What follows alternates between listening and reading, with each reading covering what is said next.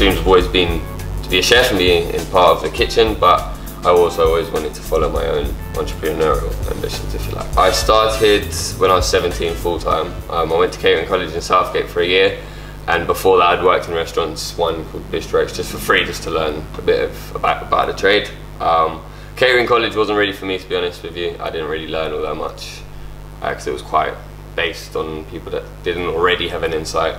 So my chef there told me to get a job. The menu mainly revolves around burgers. Um, it's it's kind of a, a, gourmet burger, if you like. So we've taken your traditional ideas of putting it in a bun and stuff, but we've gone the extra mile with our condiments and things like that. Uh, we've got five different burgers on there, uh, two beef, well, a beef with different variations, so bacon, cheese, and the cheese. We've got two chicken, is jerk, and a fried chicken, and then we've got two vegetarians, and one of them is vegan, which is a spiced veggie and a Mediterranean. When I was uh, when I was 22, so well, I am 22. Uh, we we opened this restaurant. Um, the planning itself had been going on since I was 21 um, for here, but because we had to build the structure and the concept was very new, there was a lot of just planning before we actually opened up. And yeah, this is my first this is my first head chef position. Obviously, I, I have interest as well, but it's it's been lovely to to be able to push.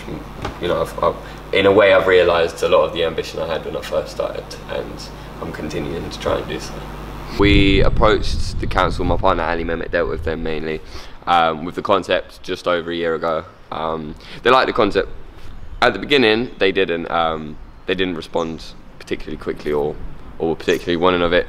We revisited it and uh, approached them again, and they did like the concept, but there's a lot of objections and a lot of hoops we had to jump through to get it anywhere. So we were represented at subcommittee, um, which we won we were at a standstill for about a year, nine months to a year, but after that it all moved pretty quickly and we built this in four months.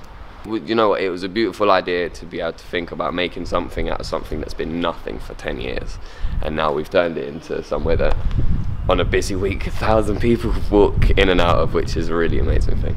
We've got five shipping containers in total. Um, there's one 40 footer, two 20 footers, and two 5 footers. Um, 40 footer and uh, two 20 footers are the main restaurant and kitchen if you like and then we've got a 5 footer that's customer toilets and um, at the back we've got a dishwasher area yeah it cost just it cost over a thousand a hundred thousand pounds to, to put everything together and it was driven down Crouch End High Road on 40 ton trucks.